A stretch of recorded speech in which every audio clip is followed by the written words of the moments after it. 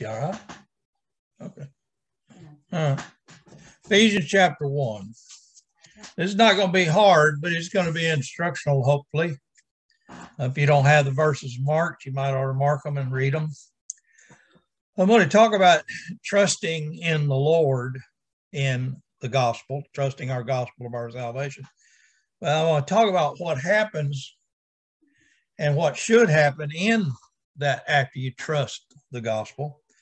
I went to church with my mother, was forced to go when I was young, got baptized when I was about 13 years old, and it never it really didn't change my life at all. Um, but I was a member of the Gasville Baptist Church for whatever. And uh, when I turned 16, I didn't go back. I didn't want to hear it. I training union, one of the most awful things that I ever sat through in my life. Some woman to come in there with a brochure and read it.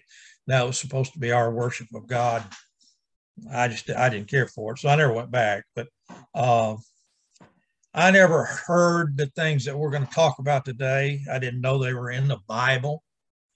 They've always been there, and if you talk to people, you will understand what I'm saying because you've talked to people and they don't have any idea what you're talking about and it's there in the bible so you know they're not reading but in ephesians chapter 1 paul said in verse 12 that we should be the praise of his glory who first trusted in christ in whom you also trusted and of course he's referring to the ephesians and he's really referring to the Ephesians that he didn't know. He went to Ephesus in Acts 19 and he met them. He knew the elders at Ephesians, whatever, at Ephesus, but he didn't know these people because they came along later uh, in belief. And he refers to the pronoun changes in verse 12 that we, that be Paul and the ones that first trusted Christ. Then verse 13, in whom you also. And they're the people in verse 15, wherefore I also, after I heard of your faith, he had not met them. He was in prison now. When he wrote the Ephesian letter, he was in prison. He didn't get to meet these people, but he heard of their faith uh, in the Lord Jesus and love unto all saints. And these people that he's writing to here, uh, the saints and faithful, the saints are the ones that first gave to the church at Jerusalem. And if you read the Thessalonian letter, hold your finger here, go to First Thessalonians. And, and if you read these things, you begin to understand what he's talking about in uh, 1 Thessalonians chapter uh, 4, verse 9. But as touching brotherly love, you need not that I write unto you, for you yourself are taught of God to love one another. And indeed, you do you, I apologize, and indeed you do it toward all brethren which are in Macedonia. But we beseech you, brethren, that you increase more and more. And these people that first trusted Christ. That's where Paul was doing his ministry, his his journeys. And uh, you can look in back of your Bible. A lot of the Bibles will show you the, the journeys of Paul, missionary journeys. But when he writes the Ephesian letter, he's done with the missionary journeys. He's in prison, and he writes this. And he's heard of some Ephesians that have trusted Christ.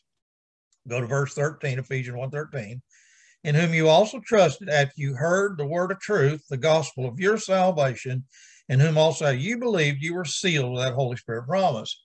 So he's referring to the fact that somebody came to you while I'm in prison and preached to you, showed you truths, and, and they showed you the gospel of your salvation. Christ had died for their sins according to scripture, was buried, and rose again the third day according to the scriptures. They trusted it.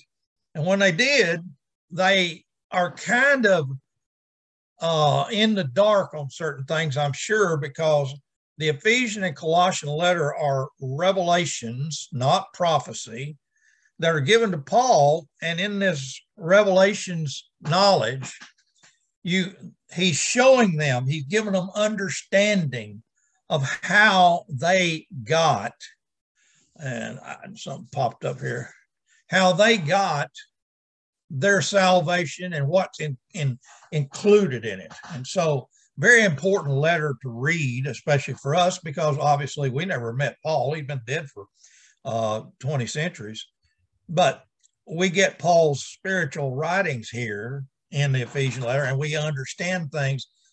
And to be honest with you, I never knew the Ephesian and Colossian letter were in the Bible.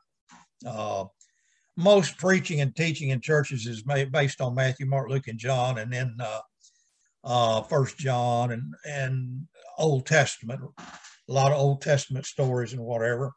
But to get into the meat of Ephesians and Colossians, I never knew it was there. And so when I began working for Brother Moore, I learned a lot, obviously, from the Ephesian Colossian letter. I, I never even knew. And it began to put things together for me because Ephesians and Colossians are the prison epistles, they call them. Paul was in prison. And what I want to look at here in Ephesians 1, what he wrote to these people was that in verse 13 again, in whom you also trusted after you heard. Now, I heard Tim Tebow say that you had to uh, repent of your sins, and then the death, burial, and resurrection was yours if you repented of your sins. And obviously, if you didn't repent of your sins, you didn't believe the death, burial, and resurrection. It says nothing about repentance here. It says, in whom also, in whom you also trusted after you heard the word of truth, the gospel of your salvation, and whom also after you believed, you were sealed with that Holy Spirit promise. Now, turn the beat to second uh, Romans 10. Where these are all simple verses, but let's tie it all together with the Ephesian letter. Romans 10.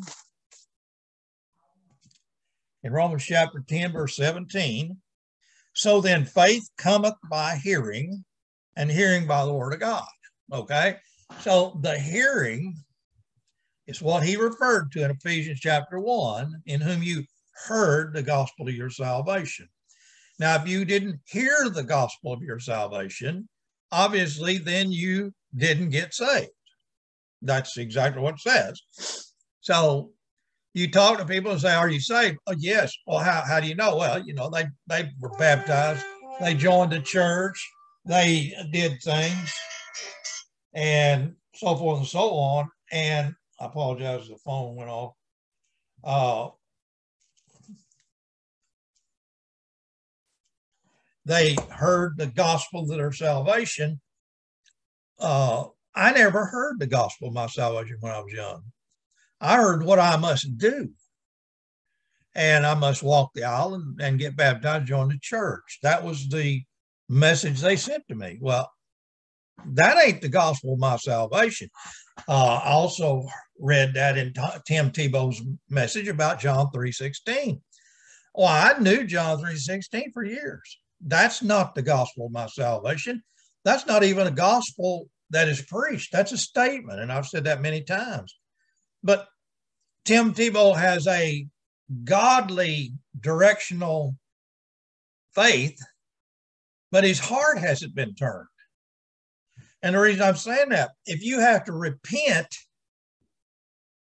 of your sins, then that's you. That's not the Lord. Uh, you can trust the gospel of your salvation without any repentance at all, except the fact you quit trying to save yourself. That's a repentance. Most people don't believe that. I mean, just quit trying to save yourself and quit trying to impress God with your turning from your sins or being a good Christian or whatever, and uh, believe in John three sixteen and trust the good news of your salvation, the gospel of your salvation. What is it? Christ died for our sins, according to Scripture, and was buried and rose again the third day. And that satisfies God. That's the that's the power of God unto salvation. That's the way God saved you. And if you want it, you can have his inheritance. And we might get into that, might not, probably not to this week, but anyway, uh, the fact of Romans 10 17, the faith cometh by hearing, and hearing by the word of God. Well, then look with me in our in Second Corinthians chapter 5. In Second Corinthians chapter 5, referring to our walk. Second Corinthians chapter 5, verse uh, 7. For we walk by faith, not by sight. Well, the contents is about losing your house, which is your body, and having a house made without hands eternal in the heavens. We haven't seen our true life yet. It's hid in Christ with God. And we don't we don't see any of the things that we believe we hear it, we learn it, we are taught it, we're shown it. Uh, the best way to teach is always preach the word. And in teaching, teaching what Paul wrote, the things that are written aforetime, all the Old Testament stuff that are written are good for our learning and, and through patience and comfort of the scripture, we might have hope. Uh, if we see that God promised something to someone and it was fulfilled in time later, we then understand that revelation is going to be fulfilled someday because it's the truth. Uh, what we have to do is we walk by faith, not by sight. I cannot, I cannot even tell you what Jesus looks like, except for the fact that he looks like Adam. Whatever Adam looks like, uh, is what Jesus looked like. Jesus was the last Adam. Uh, I believe that if we look at human beings, we see what Jesus looked like. I mean, that's just the way it's got to be. I mean, they can't even identify him unless somebody identifies him. I mean, he's not got a walk, an aura around him and a halo and all that. He's just a man. He's the man Christ Jesus. But he's a man that if you were in your now, listen to what I say. In your right mind, you'd want to be around him because he does nothing but good and he's a, a kind individual, a loving individual, and a merciful individual. He has no intent of killing you, he has no intent of, of uh, betraying you. I mean, he is a human that would have been great to be around. But they didn't want him because they were doing wrong and he was right. And it's like good versus evil right there. And and so they don't want him and they crucify him and whatever. But we walk by faith. We've never seen jesus. We've never seen god we've never seen the city. We've never seen any of that but we believe it to be true because god's word says so. So we walk by faith. But now turn with me to First corinthians chapter 1 now remember ephesians 1 said in whom you heard the gospel of your salvation. Our merciful Heavenly Father picked a day in your life, looked at a day in your life when you could hear the gospel of your salvation, and He knew whether you'd believe it or not. I thank God every day of my life in one form or fashion that I had a chance to believe. I mean, I had a chance to believe. I'm not going to hell. I'm not going to die. I'm not going to be damned. I'm not going to be condemned because my father preached to me. How did he do it? He, he preached to a man, a preacher. Now watch in 1 Corinthians 1 17. Christ sent me not to baptize, but to preach the gospel. Paul's mission was not to go out and baptize as Matthew 28, go or baptize in the name of the Father, Son, and Holy Ghost. It was not the commission of Acts chapter 2, repent and be baptized. His mission, his course was to preach the gospel. Why? That was God's way of saving. All right. He said, uh, For Christ sent me not to baptize, but to preach the gospel, not with wisdom or words, lest the cross of the Christ should be made of none effect. You do not have to be a theologian or a scholar, philosopher, psychologist to preach. You preach the cross. Look at verse 21. For after that, in the wisdom of God, the world by wisdom knew not God. It pleased God by the foolishness of preaching to save them that believe.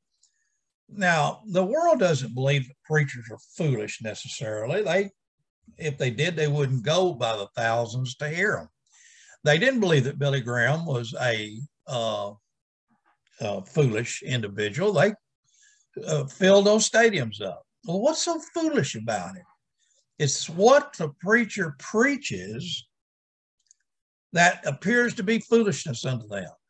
People look at themselves, and if you tell them that you can't do anything but trust the gospel of your salvation, they don't they don't accept that.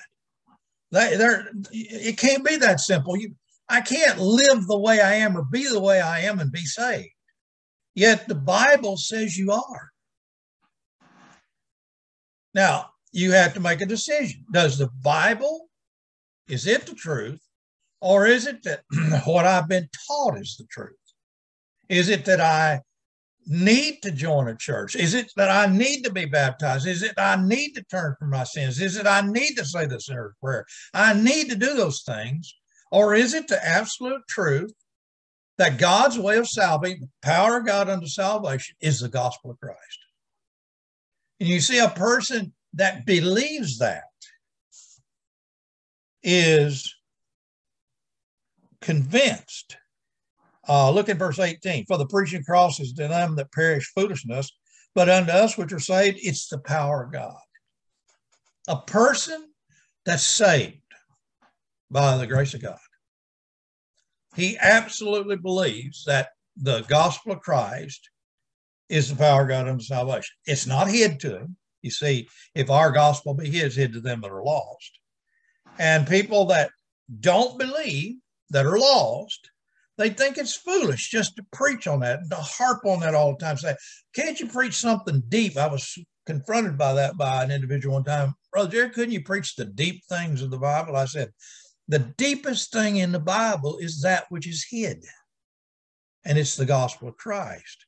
And the God of this world made sure he hid the gospel of Christ because it's the power of God unto salvation.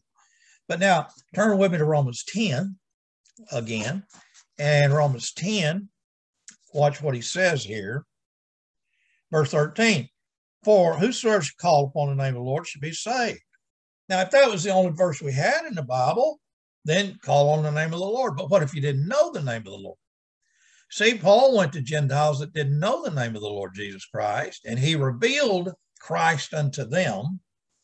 Uh, he went to preach. You could uh, like Acts 17. He went to Athens. He showed them who God was, and I'm sure he showed them who Jesus Christ was, the Son of God. But if I knew the name of Jesus Christ, according to the Scripture, I could call on His name and I'd be saved. That's a great verse. But I'm, I'm going to have to read on. Verse 14. How then shall they call on him? Here's a question How shall they call on him in whom they not believe? A non believer is not going to call on the name of the Lord to be saved. That's what he said. Well, then what are they calling They're calling on what the church has told them to do to be saved. It, again, if you ask somebody if they're saved, they can very well lie to you and do lie to you about their salvation they're not secure. They're not really sure they're saved. It's a word that if, if asked, they, they're going to agree to because it's a religious word to them. But if you ask them, what's the gospel to your salvation? About 99% of the time, they're going to take you to John 3.16 because that's the only verse they know. I had a man come to Bible class. First time he ever came, that's all he knew is John 3.16. He thought he had it locked down. And afterwards, he realized, I don't know nothing. That's right. You don't because if our gospel be hid, it's hid to their law. John 3.16 not our gospel. Okay, so in verse 14, how shall they call on him whom they not believe? And how shall they believe in him whom they have not heard? And how shall they hear without a preacher? Now that's what I wanted to get to. And if you reverse this, you'll go uh, verse 15, how shall they preach except they be sent? All right. Sent preachers so that you can hear to believe to call on. If you reverse that order, that's the, the call on is the last thing. There has to be a preacher. Well, we know something in the scripture here. Turn to 1 Timothy 2. Now, if the gospel is going to be hid, then obviously the preacher is going to be hid. In 1 Timothy chapter 2, verse 7. He said, Whereunto I am ordained a preacher and an apostle. I speak the truth in Christ and lie not, a teacher of the Gentiles in faith and verity. That's true. Well, whereunto is based on verse 4 who will have all men to be saved. That's God our Savior, verse 3. And come unto the knowledge of the truth. For there is one God and one mediator between God and men, the man Christ Jesus, who gave himself a ransom for all to be testified in due time, whereunto the due time is based on Paul being the preacher. Well, then how shall they preach except they be sent? How can they hear without a preacher? So if the preacher was Paul And then he wrote down by the inspiration of the scripture the things that he had revealed to him. And he says, look in 1 Corinthians 15, hold on to 1 Timothy 2, 1 Corinthians 15, 1. Moreover, brethren, I declare unto you the gospel. He calls it my gospel. Romans 2.16, Romans 16.25, and 2 Timothy 2.8. He said, I declare unto you the gospel which I preached unto you, which also you have received and wherein you stand, by which also you are saved. If the gospel is preached to you, that'll be the form, the way that God's going to save you. God of this world knows that, so he hides 1 Corinthians 15, 3 and 4. For I delivered unto you, first of all, that which I also received, how that Christ died for our sins according to the scripture, and that he was buried, and that he rose again the third day according to the scripture. That's hid. Been written for 2,000 years by Paul. He's the preacher. He wrote it down, yet it's hid. There ain't nobody going to take you to 1 Corinthians 15, 3 and 4 in the football games with a sign. There's nobody on the roadways on these signs. They got John 3 ministries, on and on and on. There's nobody that says 1 Corinthians 15, 3 and 4 is the gospel of your salvation. It's the power of God unto salvation to everyone that believeth. They're not going to put that up there. Why? It's hid. How? Why is it hid? Because it's the power of God unto salvation. But that isn't all. Paul is hid, and he's the preacher of it. You understand this hiding? The God of this world is going to hide anything at all that has any reference or anything to do with a gospel revealed that would save you. He does not want you saved, he wants you religious. And I'm I know all this stuff is simple to you, but you you put it down in your in your memory bank and think, and the next time you deal with somebody, say, "What's the gospel to your salvation?" And you'll understand. You're going to understand what I'm talking about real quick. Now, back in First Timothy chapter two, again, he said, verse six, "Who gave himself a ransom for all to be testified in due time." Now, if you go back to verse four, who will have all men to be saved and come unto the knowledge of the truth. Okay, a person gets saved and to come into the knowledge of the truth is to follow Paul. And of course, 1 Corinthians 4 16, be followers of me is also of Christ, and uh, or uh, be followers of me. And then uh, uh, 1 Corinthians 11, be followers of me is also of Christ. Follow Paul. Uh, the preachers are to consider what Paul says in 2 Timothy 2 7. And it just goes on and on. And he tells Timothy time and time again the things you've heard and seen in me do, and on and on. He says, preach the word and and on. It's follow Paul, follow Paul. Now, some people say, well, you're a Paulite or whatever. I'm not a Paulite in the sense I'm not following Paul in his earthly life. I'm following Paul in what he wrote, his doctrine. And look with me uh, in verse 7 again, 1 Timothy 2 7. Whereunto then is based on the knowledge of verse 4, 5, and 6, whereunto I am ordained. That has to do with the, the due time.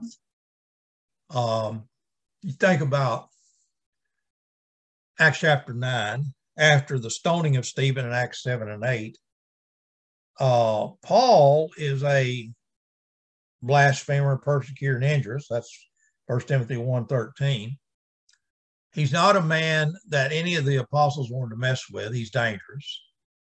He's not a man that believes that Jesus rose from the dead. He's not a man that believes that he needs to repent of anything. He he he believes that he is a dedicated Jew. Uh, Philippians chapter three, verse four, five, and six tells you that. If you'd ask him, he was circumcised the eighth. I mean, he'd give you his heritage. That's what he'd do. He'd give heritage. But in the sense of him one day the Lord appeared to him. You go, well, why would the Lord appear to this man? Why didn't he get a, a really, let's say, a faithful Gentile? I mean, if you're going to have an apostle Gentiles, why not get a faithful Gentile?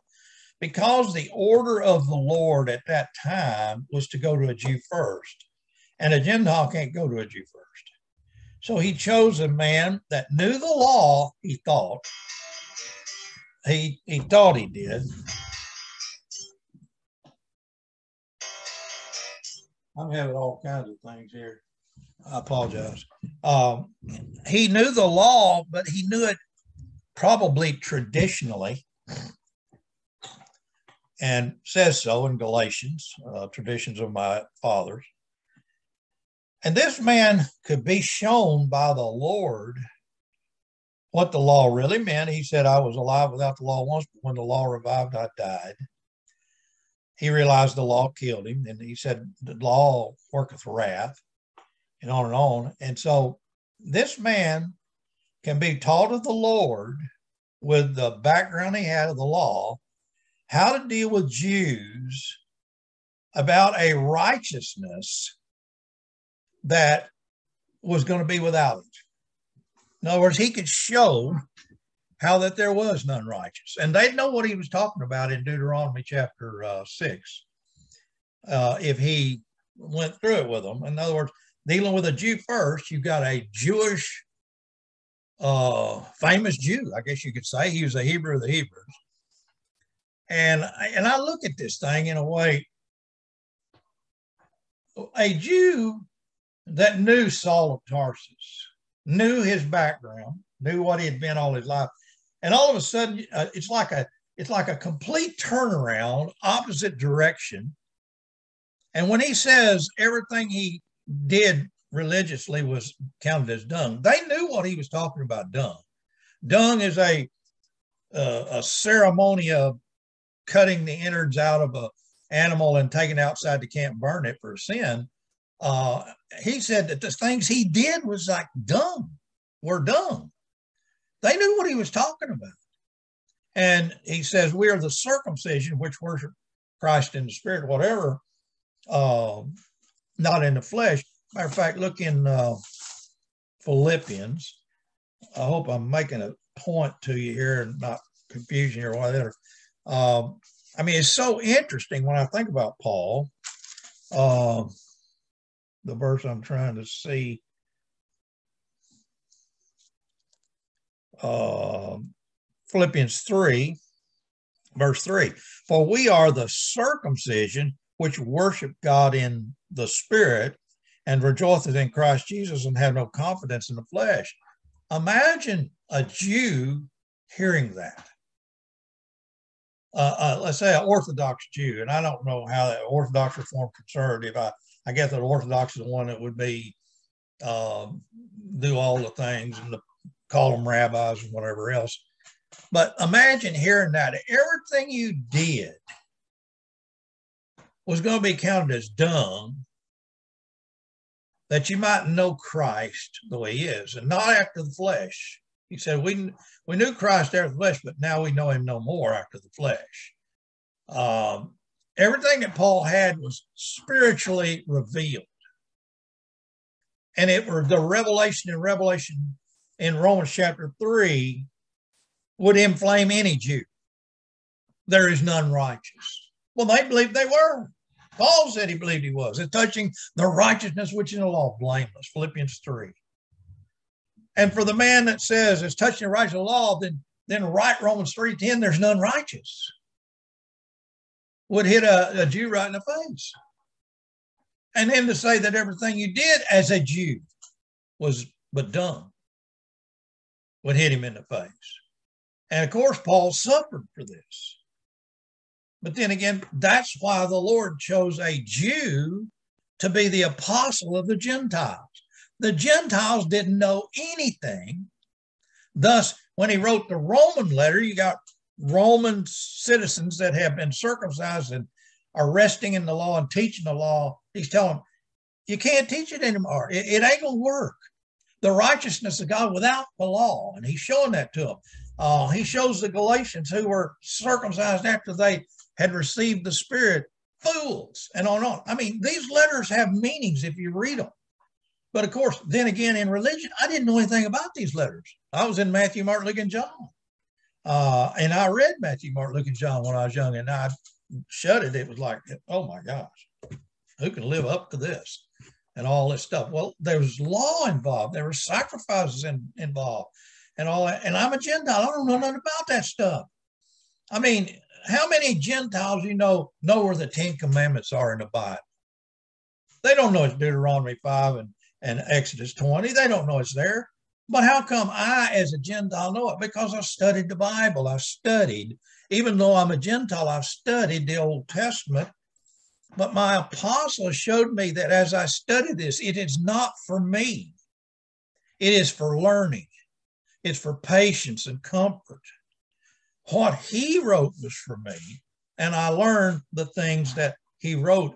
And it's it's beautiful what we learn from Paul and not be subject to bondage. I guess I could say it that way. So back in this, the ideology, the thing I'm t- uh, talking about, the preacher is Paul. He was showed the power. The preachers, go back to Romans 10 to watch. In Romans 10, I hope I can get this over to you, and it, if I don't, it's my fault. In Romans 10, I said simple. All this is simple, but sometimes I make things where you can't see it probably. In Romans 10, verse 15, no, uh, 14. How then shall they call on him in whom they've not believed? And how shall they hear, uh, believe in him in whom they've not heard? And how shall they hear without a preacher? All right, we have to have, hold this, go to Timothy again. We have to have a preacher. Now, I had a preacher. I heard one of the best preachers I ever heard and worked with him and whatever, but he was sent. Now, watch First Timothy uh, 1, verse 15. This is a faithful saying, worthy of all acceptation, that Christ Jesus came in the world to save sinners, of whom I'm chief. I've heard, I've heard people preach that have never lived anything of life, and they don't really know anything about life. I've heard a young preacher, young preacher. I'm not a young preacher. I've experienced life and done things I wished I hadn't, uh, things I wished I couldn't remember, and things like that. But I can preach to you about sin. I know sin. I know what sinning is. I've done sinning, and I was in jail one time witnessing uh, on Sunday night, and guy cussed me, and I said, "Is that your best shot?" And he looked at me kind of confused, and I said, "Man, you don't know how to cuss. I worked on a railroad. I know how to cuss." And it got his attention. Uh, he was making the Pentecostals in there so mad because of his cussing that they wanted to get, get at him and whatever it didn't upset me. I mean, I've been cussed and I have cussed and I've cussed people down. They've cussed me down. And I mean, that, that's just way of life when I was living it. Do I cuss now? It'll come out of me every once in a while. And I'm, I hate to say it, but it comes out of me when anger comes out of me. Oh, there's things I say that I wished I wouldn't say. And I'll be praying and things come out of me in my mind and on and on. That's just the nature of man the nature of man's that way. And I wouldn't try to blow smoke on you. I don't do that no more. Yeah, I do. I do. And uh, I'm sorry to say I do it, but I have scripture that tells me that's normal. It's not a sickness or that I have something wrong with me. It's normal. It's a normal thing because I'm carnal, sold under sin.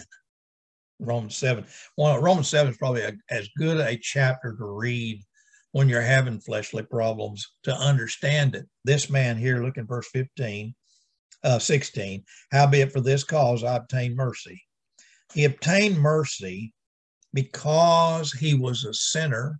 Not only was he a sinner, he said he was chief of sinners. He was a blasphemer, persecutor, injurious. And God saved him in spite of that. Now that's you got to think about your salvation.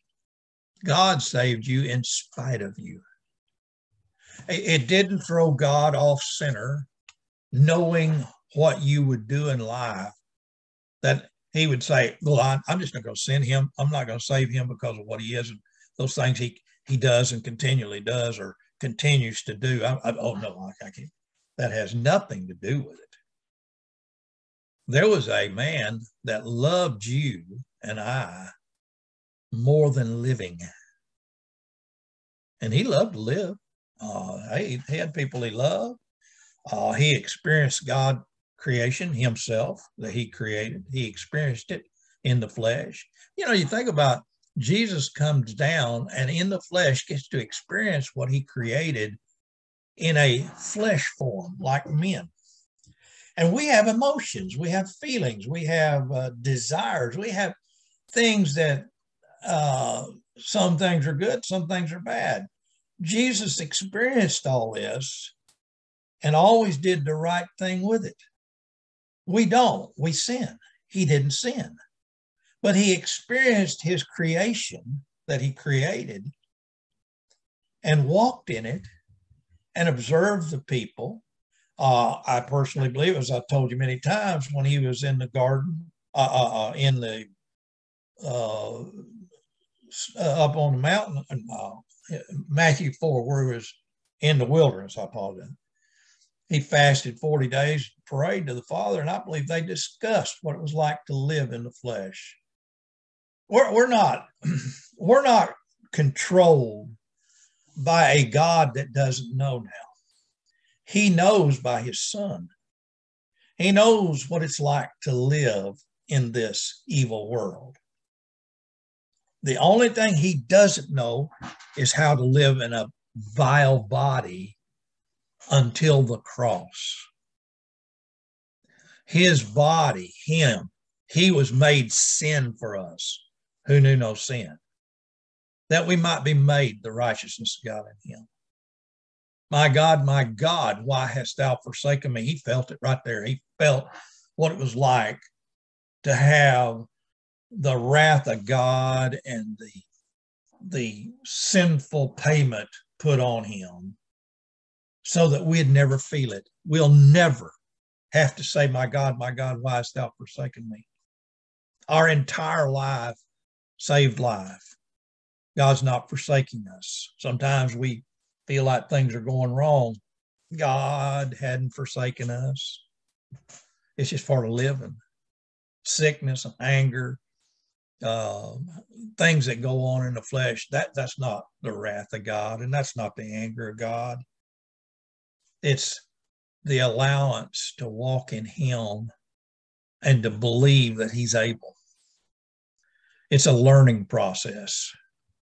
And sometimes the more we get persecuted, the stronger the Lord works for us and the stronger we become in faith. We don't go around blaming people for this and that. I, hey, I don't blame anybody for anything. I mean, I want to. Uh, I'd like to nuke some people for what they have done to people in the world. But you know what? It ain't surprised God at all. There's nothing happened that God didn't know about. But what he's doing, he's letting us set our affections on things above, not on things of the earth. He's letting us consider how much greater it would be to be with the Father than to be here on earth. But the flesh is flesh, and it's always there fighting. And so here in Paul in 1 Timothy 1.16, howbeit for this cause I obtained mercy, that in me first Jesus Christ might show forth all long suffering for a pattern to them which should hereafter believe on him to life everlasting. Well, go back to Romans 10, verse 14. How then shall they call on him in whom they've not believed? And how shall they believe in him in whom they've not heard? And how shall they hear without a preacher? And our preacher was a Jew that was saved by the grace of God, given the gospel of Christ to trust, and he did, and he delivered it. When he went to Macedonia and Thessalonica and Corinth, he didn't go over and try to show his religious traditional Jewish things. He went over and said, I delivered unto you, first of all, that which I also received. How that Christ died for our sins according to Scripture and was buried and rose again the third day according to Scripture. I can't imagine teaching a Bible class or going to a conference or anything else or teaching a new Bible class without preaching the gospel of Christ in it. Why? Because I have no idea who is in there of whether they believe or not. The only God knows that. And if you believe, it, it just empowers you more to hear it over and over. And if you're lost, then you can hear something that would help you to understand I need this for my salvation because it pleased God by the foolishness of preaching to save them believe, not not a church builder or anything like into that.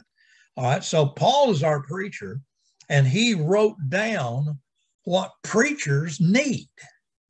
So, as him being the preacher, he shows us the power, the preachers that are sent. Now, watch this in verse 15. How shall they? He went from a preacher in verse 14 to 15. How shall they, the followers of the preacher, how shall they preach except they be what? Sent. No, uh, let's just get it down fact. Every preacher that is of God is sent. And he will never be in doubt about Paul. I believe that with my heart. And my heart's deceitful above all things. Why do I believe it with in my heart? Because with all my heart, I believe that God means what he says. He sent preachers to preach the gospel of Christ. And they have to follow Paul. They have to, because if they go to Matthew, Mark, Luke, and John, or John 3.16, that's not sin of God. I know one preacher today that preached for many years in a Baptist church, and a situation arose in the Baptist church, fleshly thing, and it caused him to resign. He came in contact with somebody that showed him the gospel of Christ, and he got saved after 15 years of preaching. He's not a preacher anymore. He's a student of it. He comes to Bible class regularly. He gives, and uh, he, I mean, where he was being given to, now he's given. And that individual is joyous of the fact that he's saved. He is very sorrowful and very hurt, hurt in his mind that all those years he deceived people. He had people that came to him afterwards and called him a liar and everything else. But he's very, I mean, it hurts him to think that he, all those years, he did that to those people and he baptized people and got them to join the church and everything and didn't preach to them the gospel of Christ because he didn't know it. It's hid. Oh, yeah, he can be hid to a preacher. He say, oh, no, he, preacher said. No, it's hid to preach. If our gospel be his, if you know it, you deliver it. Well, you know that. So you go over this and, and think about this. Turn to Col- uh, Colossians chapter 2. Now, in this trust, and, and you saw that Romans 10, a preacher, and then they that preach are sent. So, uh, Colossians, it's hard to imagine God sending me, but He did. The way, and see, you, you think in terminology of the flesh again. Well, look at Brother Jerry. He don't look like a preacher. He doesn't talk like a preacher. Doesn't act like a preacher. Doesn't dress like a preacher. I don't know. Well, I've always asked people, what does a preacher look like? I mean, is the characteristics of a preacher laid out there how they look? Uh, you see, the way preachers are accepted today is how they look. And it's kind of based on the Old Testament of how the priests looked. They were all in great garments and, and, and things they had on. And so the preachers today all dress nice and have the expensive suits of this day and all that. Was that the way a preacher's supposed to look? Well, John the Baptist didn't look like that. He wore camel's hair, eating locusts, wild honey, and probably didn't smell too good. But how is a preacher supposed? Is do we need the qualification of the preacher? I'm very sure the qualification of the preacher is in Second Timothy. Before I read Colossians, I'm going to give it to you. Here's the qualifications of the preacher. Second Timothy. Paul wrote it down. Second Corinth, uh, uh, Second Timothy chapter one, verse seven. For God had not given us the spirit of fear, but of power and of love and of a sound mind. That spirit of fear is not the fleshly fear. Paul had fear. He said, I come with you with fear and tremblings and preaching. That's not the spirit of fear. That's just the fleshly fear. The spirit of fear, but of power and of love and of sound mind. Be not thou therefore ashamed of the testimony of our Lord, nor me as prisoner but be thou partaker of the uh, of the afflictions of the gospel according to the power of God, who has number one qualification saved us. A preacher gets saved. then called us with an holy calling, called to go forth, that's ascending, with a holy ministry, with a holy purpose, a, a holy calling. They've always been here for 20 centuries. They've always been preachers sent of God, holy, saved, secured, that would try to teach you Paul's letters. Say, well, how do you know? Because God said so. I mean, the Bible ain't going to change. It didn't change in 20 centuries. It was brought forth in English by the 1611 in the English speaking Bible by the, the allowance of King James. But it's been there since the first century because Paul wrote these things in the first century. And so the preachers that are sent have been saved and called with a holy calling. And they reach out to who God knows. Uh, look at Romans 8. In Romans 8, verse um, 28. We know that all things work together for good to them that love God, to them who are the called according to his purpose. If you go back 20 centuries and count each century and the things that went on in those centuries, you'd wonder how could things be working together for good? Well, look to your life, your birth, and your life where one day God called you. He called you by the foolishness of preaching. He preached the cross to you. He gave you the chance to believe. Uh, rejoice in the Lord with that.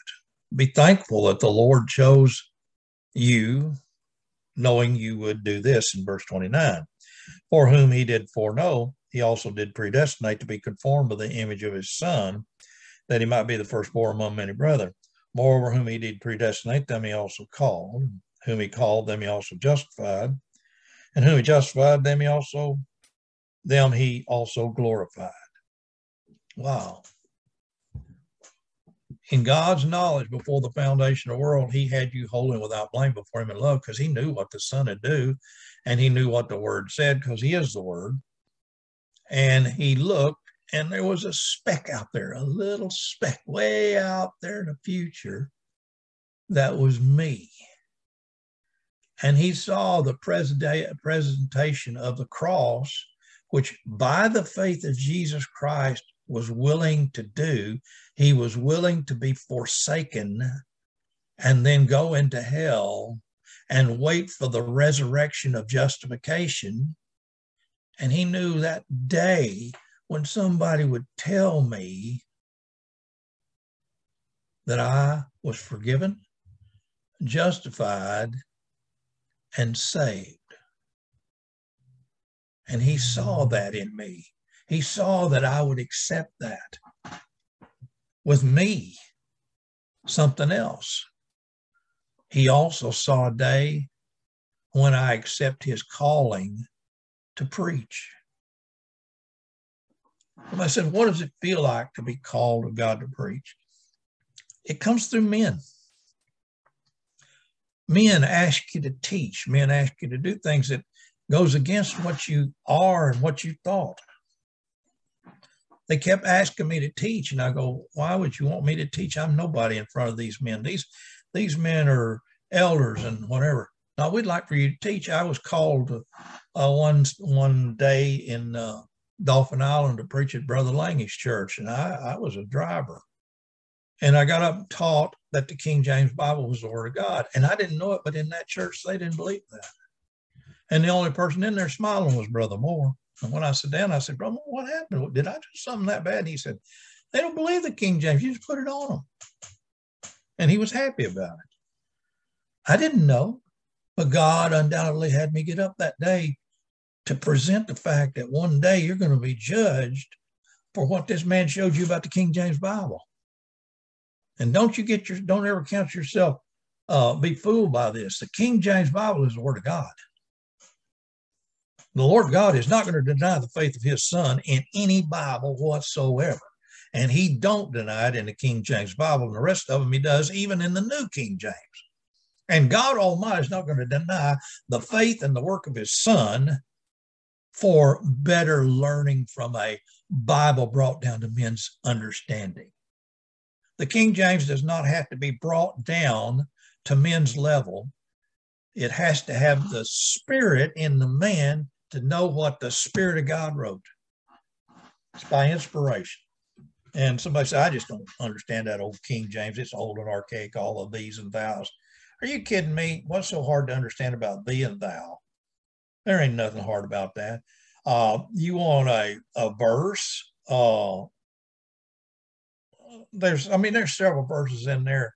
Uh, Romans 7, uh, Romans 11, and if by grace is no more works, on and on. I mean, let, let me read that. that that's uh, amazing. Here, let me read Romans 11, verse 6. And if by grace, then it is no more of works, otherwise grace is no more grace. But if it be works, then it is no more grace, otherwise work is no more work. Let me say that's kind of confusing. No, it ain't. Grace is grace, and works is works. Grace ain't works, and works ain't grace. That's real simple. What, what, what is it simple to? It's simple to a believer as he's taught and understand. He grows because number one, a person that trusts, and let's go through these things real quick. Colossians. In this trust, in Colossians chapter 2, the preachers that are sent preach the gospel of Christ. Then they begin to teach because Paul had that ministry together too. Then they begin, they're pastors and teachers. They begin to teach the people that continually come, that continue to desire and want to grow. he teaches them Colossians 2:10. Because you, you don't know this right off. You know that you trusted the gospel of Christ and you believe you're saved. Okay, that makes you a babe in Christ. Okay. As a babe in Christ, you don't necessarily know you're complete in Christ because they can be people come in and bother you and trouble you and might even convince you to get baptized or something else, like the Galatians got uh, circumcised. you're being bewitched. You're being uh, persuaded. The idea of a pastor teacher is to establish somebody, let them grow, come from a babe to being grown. In Colossians 2.10, I wouldn't have had a clue this was in the Bible when I was in the Baptist church. Colossians 2.10, and you are complete in him. I, wonder what it means. I'm complete in him. Then he's going to tell me what the completeness is. Number one, the completeness in verse 11 is I'm circumcised. I'm cut away from my body. I'm crucified with Christ, buried with him. That's the next thing he says, buried with him in verse 12 in a baptism that is has nothing to do with water. My apostle wasn't sent to baptize. He don't have to baptize because you're already baptized into uh, Christ, and I'm risen. Not only am I crucified, I'm buried, I'm risen, and being risen, I'm seated at the right hand of the Father. He's going to show me Ephesians chapter 2 in Christ so that as Christ mm-hmm. sitting there at the right hand of the Father, everything is done that's necessary for me. And being done for me, I don't have to worry about none of it. I don't have to accomplish anything. I don't have to do anything to make the salvation any better than it is because I'm crucified, buried, and raised and my life is hid up there.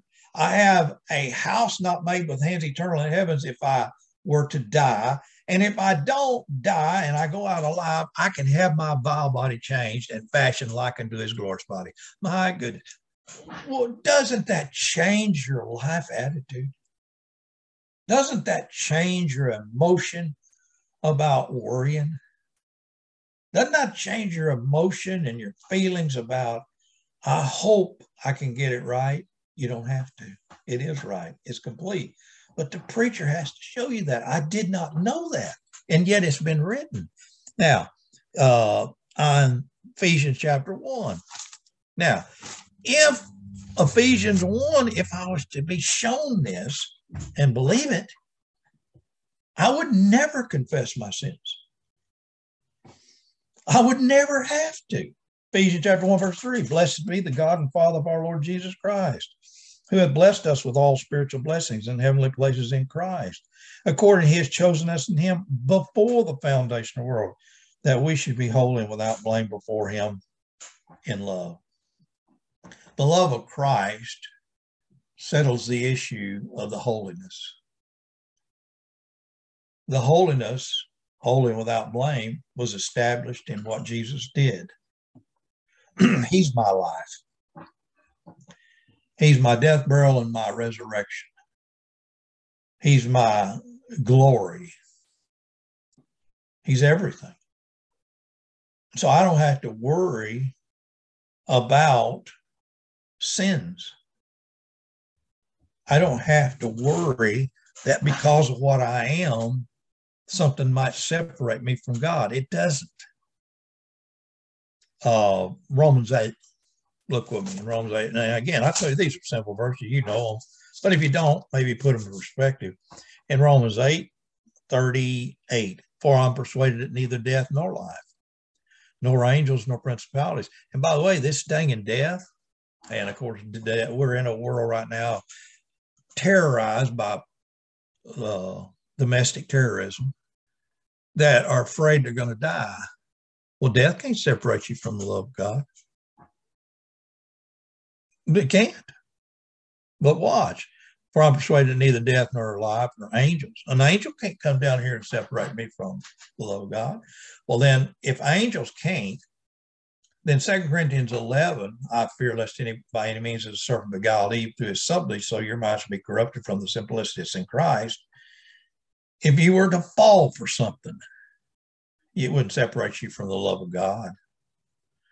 That, that's the, the incredible mercy and the kindness and the understanding of our God is. Our understanding of God is that we are have an infirmity.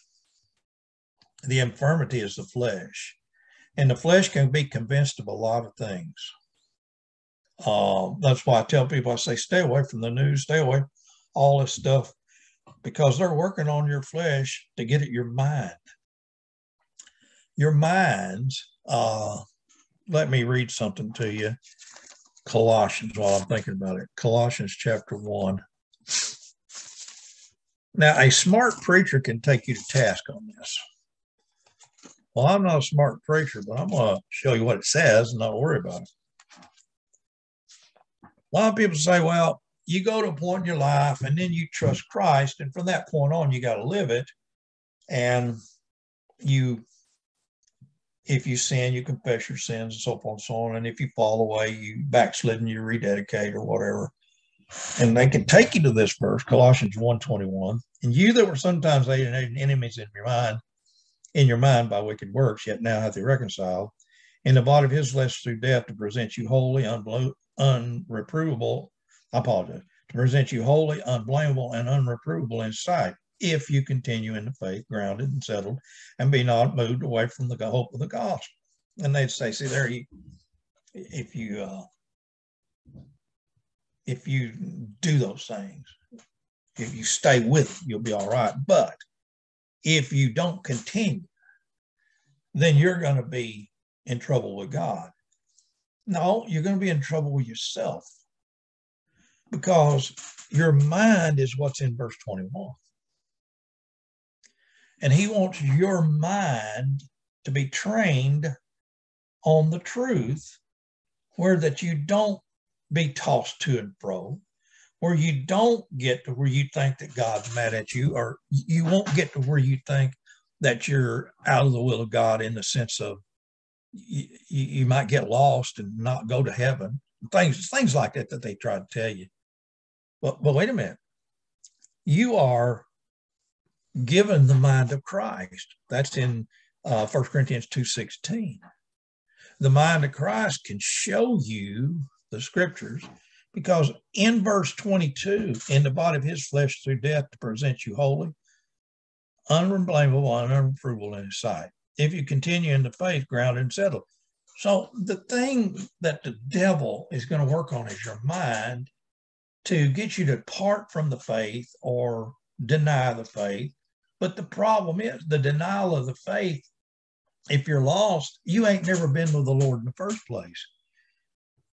If you uh, have the faith hid to you, you're not with Christ. But if you have trusted Christ, you're in the faith, then the devil's going to work on your mind that you suffer in your mind to where you can't be a clear cut testimony of the absolute truth of the God of God's gospel in the first place. You see, your mind has to be trained. Look in Romans 12. In Romans 12, nothing's going to take you away from God. Nothing. That's what Romans 8 is all about. But your mind can be corrupted. He didn't say flesh in 2 Corinthians 11, he said mind. Romans 12, 1, I beseech you, therefore, brethren, by the mercies of God, that you present your body a living sacrifice, holy, acceptable unto God, which is your reasonable service. And be not conformed to this world, but be ye transformed by the renewing of your mind. Now, all your life, you were like the Colossians.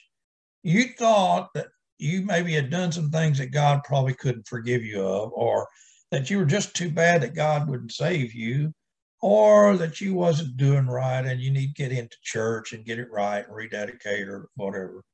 That is your mind has been taught this. Your mind needs to coincide with what the Bible says. If you have the mind of Christ, if there's a day when you trusted the gospel of your salvation, you were sealed with that Holy Spirit promise. That mind is in you, but it's a baby and it needs to be taught. That's what the holy calling of the pastors and teachers is. First, they show you how God saved you. Then they show you what you have in salvation, and they show you how to walk in that salvation?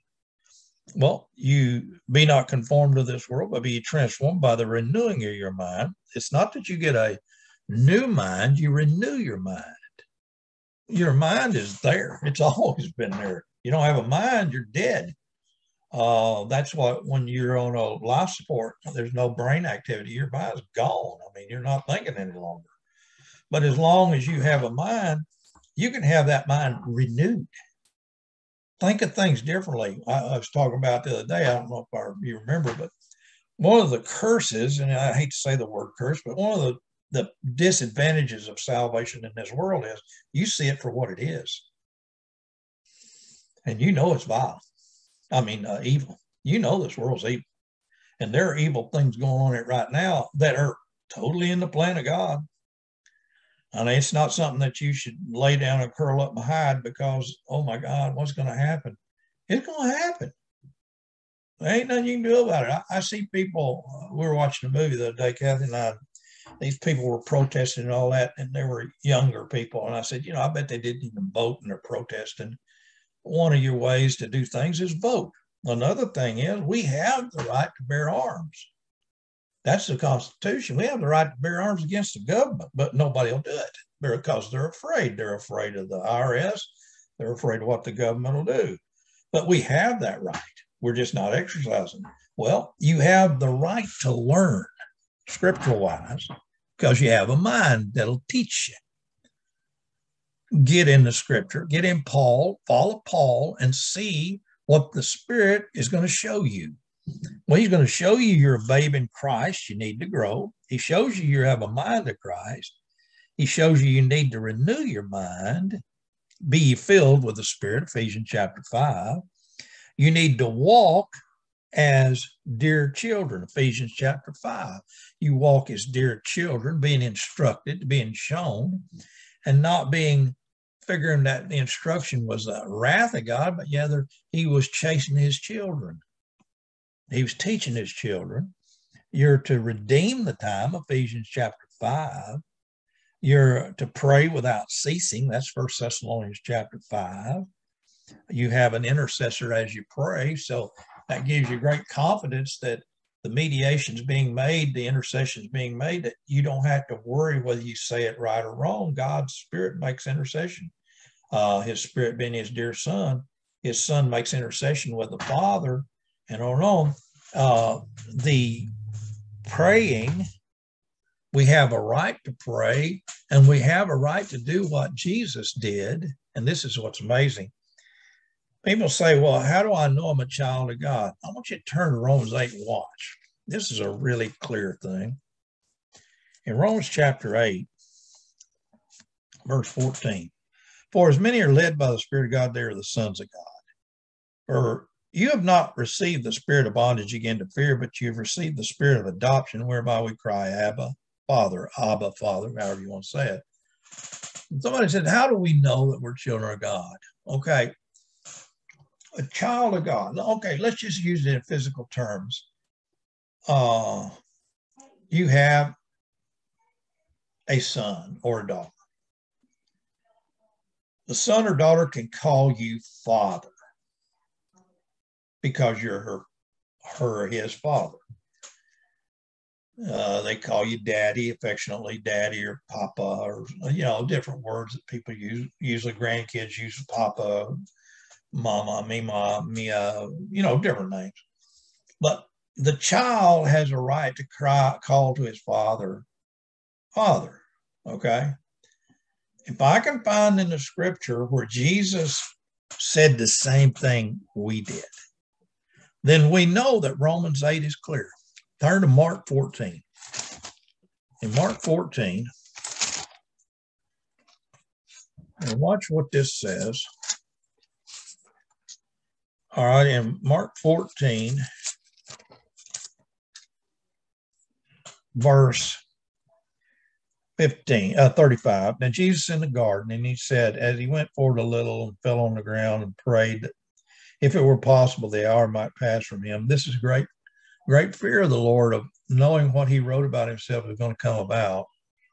And in verse 36, he said, Abba, Father, all things are possible unto thee.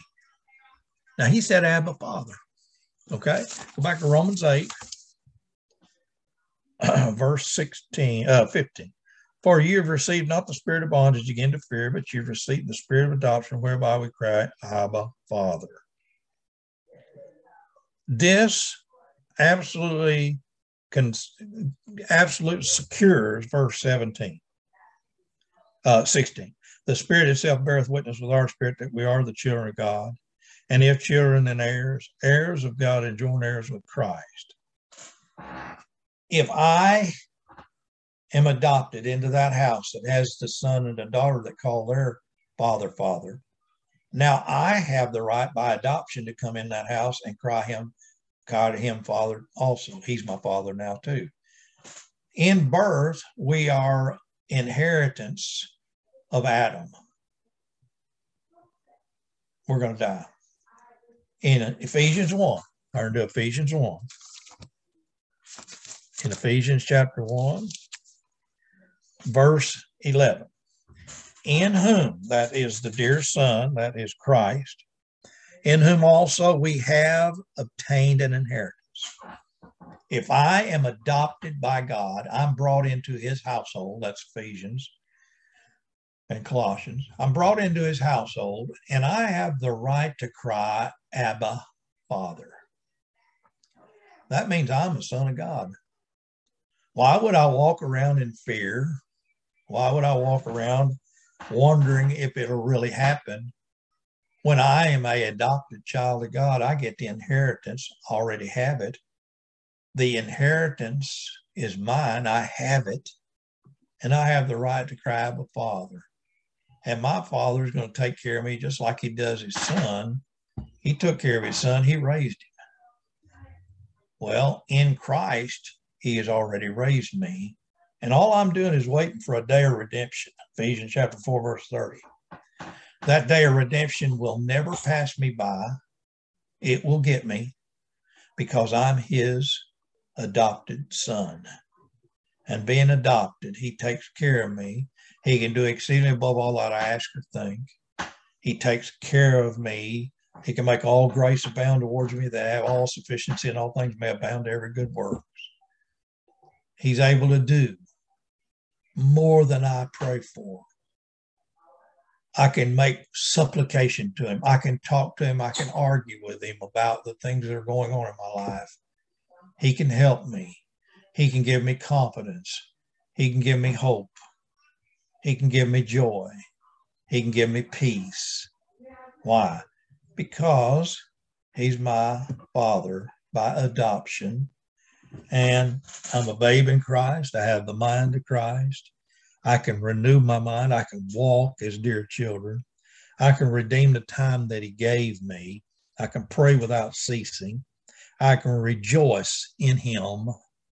I can set my affections on Him, on the things of heaven that are in heaven, all spiritual blessing. And I am taught to beware of those things that will try to change my mind about that all because I follow Paul, because that's what Paul did. He knew it, he wrote it down, and we're to read according to Ephesians 3. Paul had a knowledge in Ephesians 3 1 through 4 that you are to read. You'd understand why you're a child of God. We're to remember Ephesians 2 11, what we were in time past, but now we have.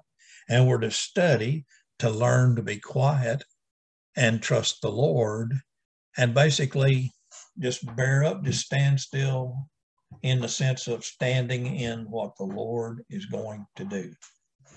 Amen.